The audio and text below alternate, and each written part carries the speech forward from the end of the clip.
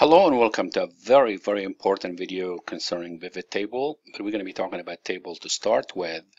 And uh, I'm going to give the credits as usual. Most of my file, I'm downloading them from uh, uh, Easy Excel or exceleasy.com, Excel uh, uh, dash easy.com. So this is very important for us to give credits when the credits is due. So you notice that all my files, in order to make it much easier to record this video so I don't have to reinvent the wheel, and as you notice, I'm going to click on the pivot table and I'm going to open this for the purpose of demonstrating how to use the pivot table based on this file that I'm just going to go ahead and open it for you guys.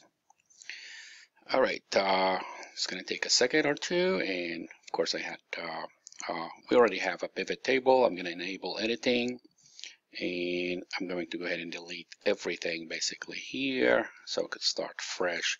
Of course the most important part of it is I cleared everything just to go to sheet one. I'm gonna rename it pivot table. Uh, for now of course it's not yet pivot table but it will be in a second. Uh, notice here we have uh, I'm going to also create uh, a larger view uh, by having 200%.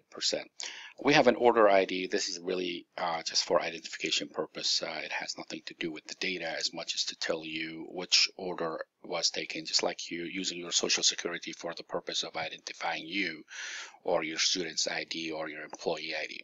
Uh, uh, this is actually where the juice is in the products category amount of money that in the date and the country that have uh, uh consume those type of vegetables and fruit. So we have products, we have category, and we have amount and date.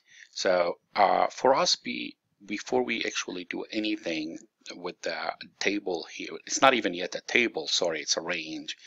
Uh, I want to see how many how many rows I have. Uh, you always have the number of the rows excluding, of course, the the header, which you must have in order to identify what each column stands for. If I press control, uh, now I'm pressing on control, the down arrow, it's going to take me all the way to the last row. So I do have actually 213 row, which means I have 212 uh, actual data row. And I could go ahead and click on the control up arrow. It will take me all the way to uh, the top cell in that column here, which is order ID. Of course, I always could press control uh, home, it will take me to A1. So let's go ahead and see how we're going to use pivot table. But as I said, I need to explain how to convert table one more time. I, in order for me to create the table, uh, I must first of all check there is no data whatsoever here on the right column of the data. So if I press control down arrow, it should be taking me all the way to the last column, which is a little bit over a million. Here we go. Actually, this is not a million, it's 65,536 because it's a good thing to just mention. This is really using the older uh, uh, Excel format before 2007 where we had only 16-bit which is 65,536. Of course, if I resave that file uh, one more time as uh, computer, uh, here we go, one second here, save as, see here it says 97.3 2003. If I saved it as an actual uh, cell here, 2007 and more, uh, it's going to really adjust itself to over a million. Okay, this is uh, the idea here is to close it and refresh it, of course. The idea is to go ahead and not worry about it at this moment because my ultimate goal is to go ahead and demonstrate for you whether you're going all the way to 65,000 or million. It doesn't matter knowing that we don't have any data here. The same thing if I go all the way to the end, uh, I need to make sure that the last row doesn't have any data here as well. So if I do have data here, it's going to confuse things uh, very easily. So as long as we have a clean data, a clean data, uh, we are ready to go ahead and convert it into a table. You click anywhere in the range and either click Control T, which I uh, could do that and say, okay, do you want to go ahead and convert this? Now you see the marching ant around the data, and it also my table has header must be checked please make sure that you check it. That's one way of doing it. I'm going to go ahead and cancel it. And the other way of doing it is to go ahead and say insert a table. You're not inserting a table, basically. You are creating a table. And it's going to give you the same exact thing like you're pressing Control T. And I'm going to go ahead and accept this time that this is exactly what I want. And with table, you have a whole new world opened for you. You have a ribbon associated with the data. For example, uh, you could go ahead and see the total rows. So it takes you all the way to the total row. So you could deal with so many different features that were not available for you uh, as a range. Uh, the other thing that you could have, uh, of course, always use the control up arrow to take me all the way up. You could change the color of the uh, immediately. Just click it anywhere. It's going to impact that. Of course, we always have the light color, we have the medium color, and we have the dark color you know you could do whatever one pleases you. Of course uh, this is part of it. You have also the banded rows. You have the header rows. You wanted to create the first column as uh, look here it's bolded. You wanted to do also the last column as bolded. If you want to emphasize this banded columns you know you could go ahead and change the color. I mean that's maybe too overwhelming but it's there if you wish to have it all right so what I did not mention, which is extremely critical for us to know, when we created the table, it gave us a name of the table, as you notice here, and now it's called table one, which you don't have to stick with it.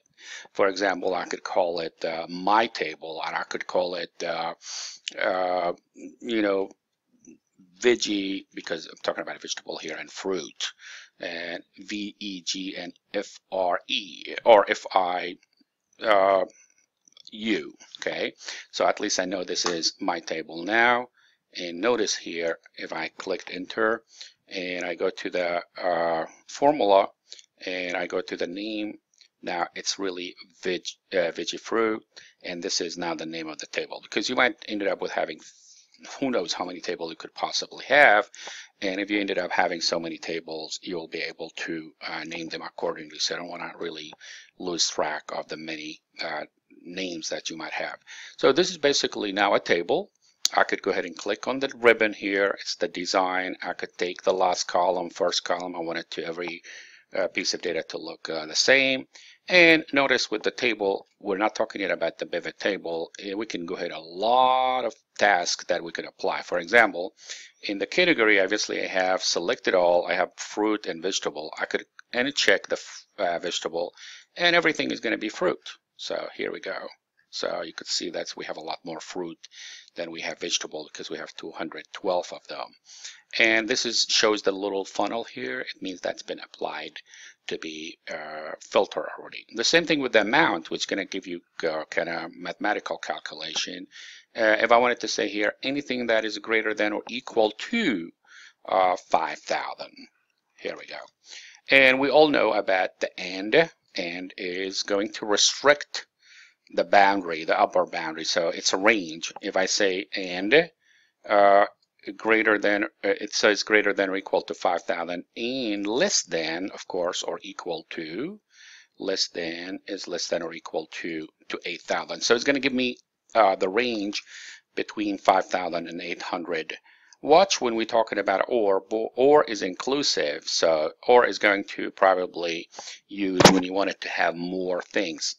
For example, if you wanted to have all the data that is greater than certain number and maybe less than certain number, you know, you cannot really use or to have uh, you know a range because with or if you had a range greater than and less than uh, it's gonna give you everything so just watch how AND and OR works. Um, obviously you know how to use it.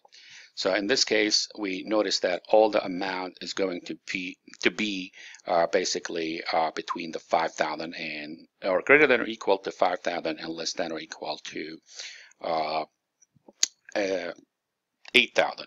Uh, the same thing if you wanted to exclude uh, the country here just leave United States. You know, I just wanted to see what are actually the amount based on the criteria 5,000 to 8,000 only fruit and I wanted to have only United States. That is another filter.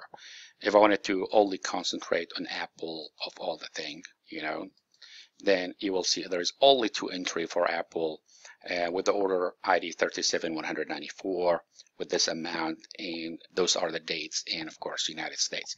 So sometimes you don't need to really use pivot table. If you have a very simple task that you wanted to filter directly through the table, you will be done in second. But that's not the case because most of the table that we will be using require, of that size, require some heavy uh, examination, analysis, and we're going to really do that. I think it's a good idea to stop here uh, and I'm going to continue with a full full videos that concerning with pivot table and nothing but pivot table. At least we know how to convert a range into an actual table by using control T or going select anywhere in the table and make sure that you have no spaces, blank rows or blank columns in the middle or of course no data toward the end, the last column and there is no data at the end of the rows. Once you know, make sure that your environment is clean, go ahead and convert it into a table by pressing control T or go to insert while you're selecting the range and say insert table. You're not inserting table, you're converting the table, uh, the range into an actual table. Thank you very much for watching uh, this video and now we are actually ready to become a decision maker and here is Dr. Hijazi wishing you the best of luck learning Excel. Happy learning.